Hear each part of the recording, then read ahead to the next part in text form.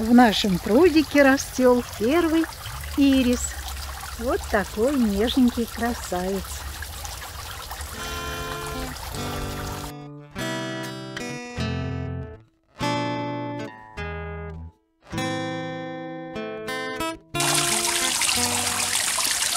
Всем заглянувшим привет! Мы с вами на даче. Сегодняшнее видео будет по просьбам моих подписчиц рассказать и показать каждое растение вокруг прудика. И начнем от крыльца. Вот я сижу на крылечке.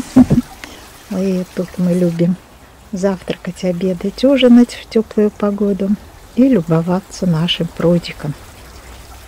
Этот пруд и вам понравился, поэтому так много вопросов о нем и как он сотворен. И вот сегодня я отвечу на вопросы о растениях вокруг прудика. Ну вот я выключила, чтобы шум водопада не мешал вам слышать то, что я буду говорить. И несколько слов из истории. Прудик я выкопала в 2012 году в начале августа 2012 года, кстати, за 4 дня. И тогда же последний день благоустройства этого пруда. И вот в четвертую ночь вокруг прудика засадила тем, что было под рукой и что, на мой взгляд, могло тогда еще приняться.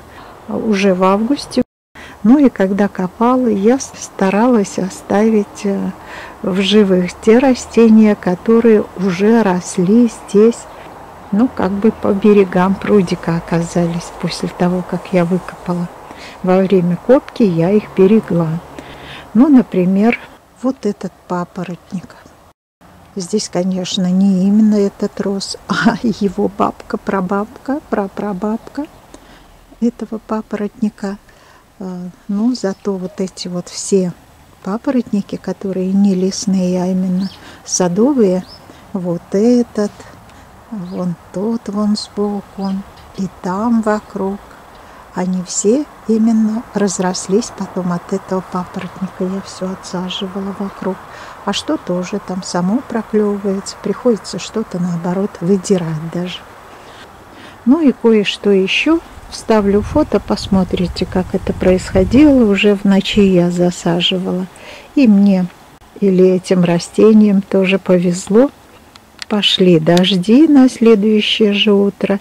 Все, что я тогда посадила, все замечательно прижилось. Да, на том берегу, вот где сейчас вот этот папоротник растет, там остались в живых хризантемы, которые были еще от мамы привезены. Ну, потом со временем все-таки уже столько лет прошло, их там не стало. Ну вот вместо них выросли папоротники, потом ирисы появились. Ну вот с этих ирисов мы и начнем, которые сегодня как раз благоухают, зацвели. Они растут прям в воде, в пруду. Я их как биоплаты сделала.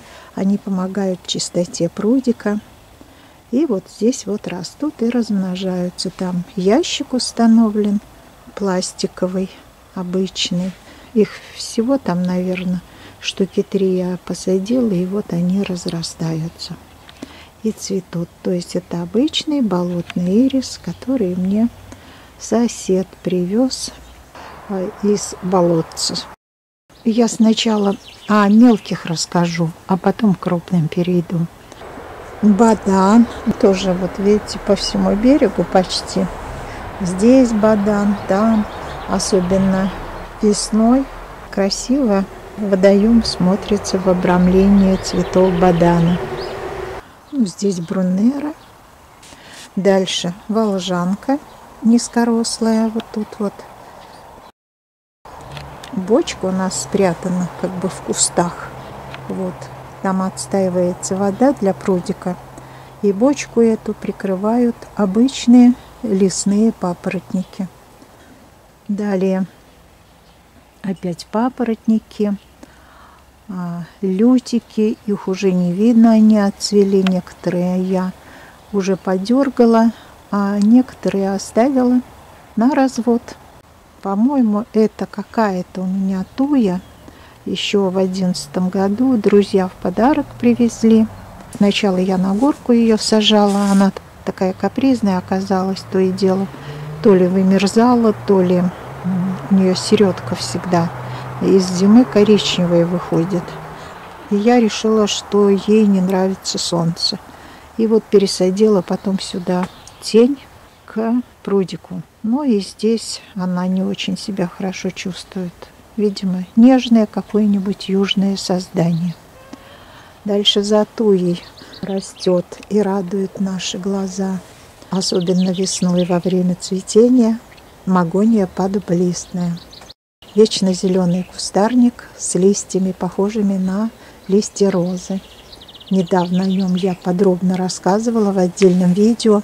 Ссылка появится вот здесь сверху. Кто не видел и интересно, посмотрите. Дальше там уже у меня как бы загустение происходит. Чуть-чуть вот видно. Это поднимается клопогон. Название некрасивое, но само растение очень красивое. За лето вырастает выше двух метров и цветет такими высокими-высокими свечками или, я бы сказала, даже султанчиками. Так, дальше. Дальше. Ну вот обо всех все равно я не расскажу. Здесь у меня чего только не растет многое просто уже ветром принесено, многое из вместе с камушками, вот особенно те растения, которые, видите, в воде растут. Это вот они там сами выросли, я думаю, а, что-то ветром занесло, что-то а, с камушками, с озера. Как на озеро идем, обязательно с собой ведро брала, совочек брала и набирала там камушки и разные растения, какие мне нравились. Вот в том числе и вот это вот название сейчас забыла.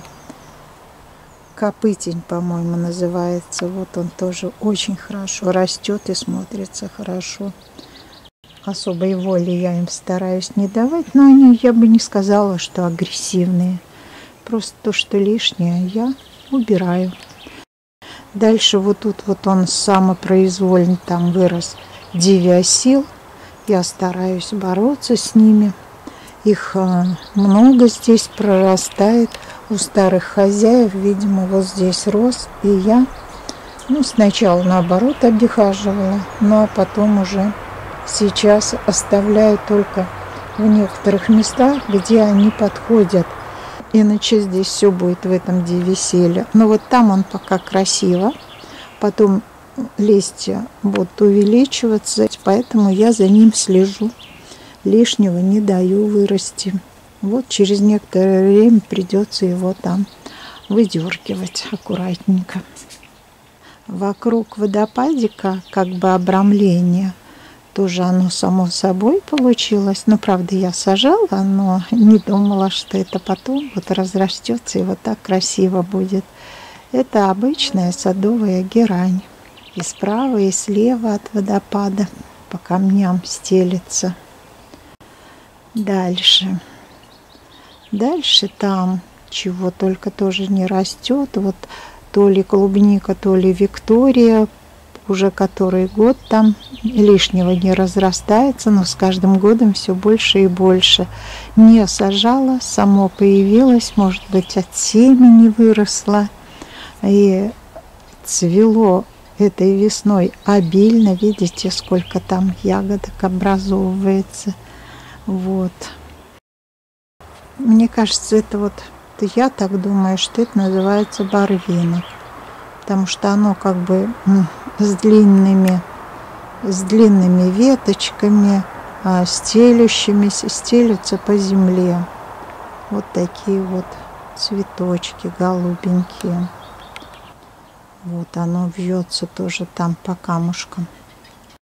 Уже отцвели ранние такие огоньки купальницы. Вот василечки самосевные выросли. Так, идем сюда. И тут тоже по берегу, видите, просто травка. И в травке вот лесная земляника. Даже цветет. Вот. Лесная земляничка. Тут и там. Ну и здесь медуница. Она уже отцвела. Папоротничек и хоста низкорослая, вот такая голубая. Ну тут много еще, вон, видите, сами, я уже говорила, сами прилетают, аж вырастают.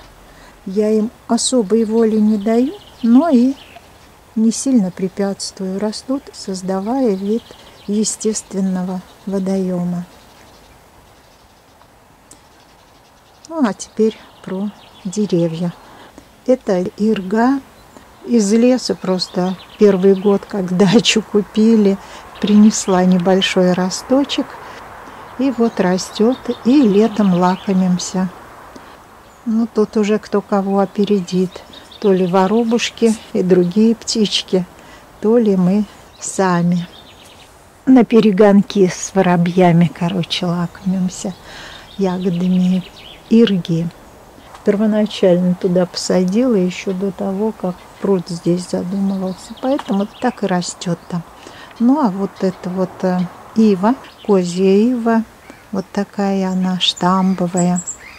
Цветет очень красиво, желтыми трогательными цыплятками ранней весной, когда еще ни цветов особых нигде нет, и ни листочков даже нет на этой а просто цыплятки просыпаются очень красиво.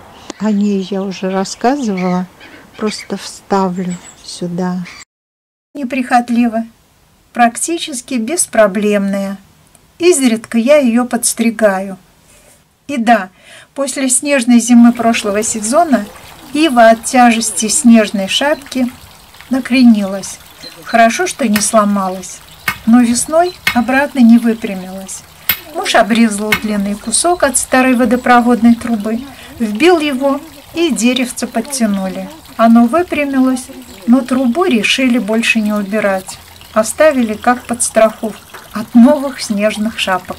Рядом с сывой всех интересует, что это за куст над водопадом, который у меня цветет все лето.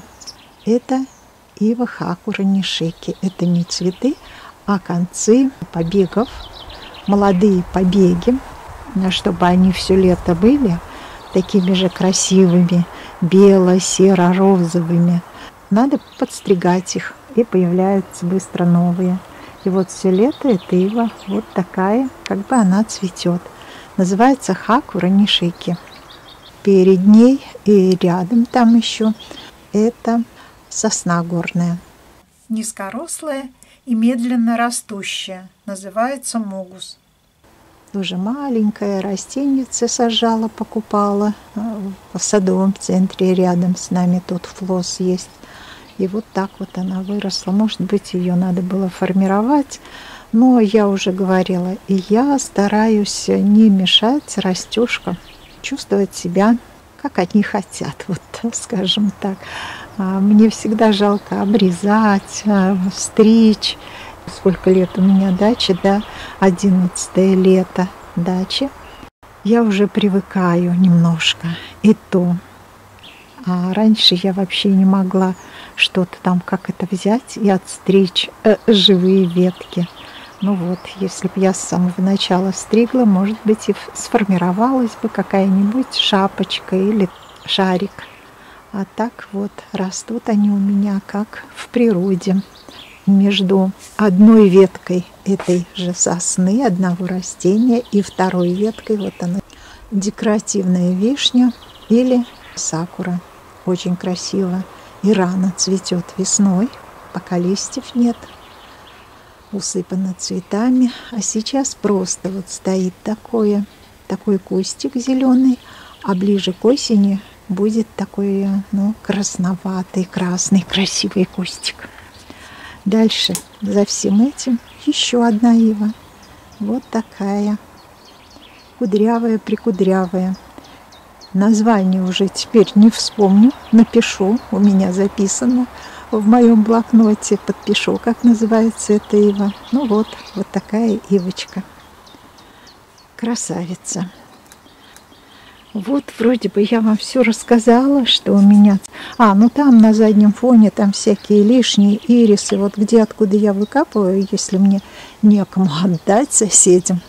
Допустим, ну обычные ирисы не будешь раздавать и выкинуть мне всегда жалко. Вот я туда насадила, видите, там перышки торчат. Это вот различные ирисы. Вот такие растения нас радуют по берегам нашего любимого прудика. Сейчас, кстати, раннее утро, раннее-раннее. Вон соседка работает уже, мне тоже пора, наверное. Всего доброго всем, берегите себя и близких, будьте здоровы. До новых встреч в моем саду.